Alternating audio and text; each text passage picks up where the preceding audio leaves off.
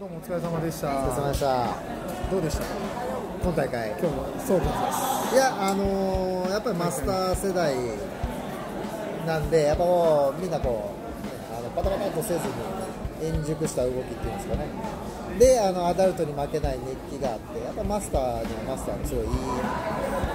いい雰囲気がやっぱいや本当マスターっていい雰囲気ありますよね。なんかやっぱり柔術ならではのなんかこう良さかなっていう気がしますねは。そう言っていて、ほらもう有名選手も多かった。いねえびっくりしましたね、僕もアマゾンさん来られてるの知らなくて、でそれ以外にもね、やっぱ名前のある、過去にこうアダルトで頑張って帰った方もね、ああのマスターになっても出られるというのは非常にやっぱいいなと思いやっます。ぱ大阪は大阪と関西は本当に大会が多くなってきてるんで、なんかすごいスムーズになんかあの回るようになってきましたね、よやっぱ本当、1ヶ月に1回、本当、ね、嘘じゃなくて、本当に大会があるので、皆さんこう慣れてきたっていうのもあるそうですね。はかいいい感じですね。はいどうですか？プレシーバー派的には。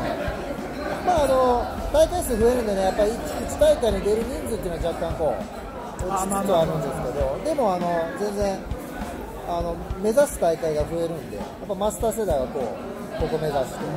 次はまたマスター大会ね、8月ぐらいありますし、こう絞りやすくなって、皆さんこうモチベーション保ちやすくなりますね、やっぱり。レフェリーは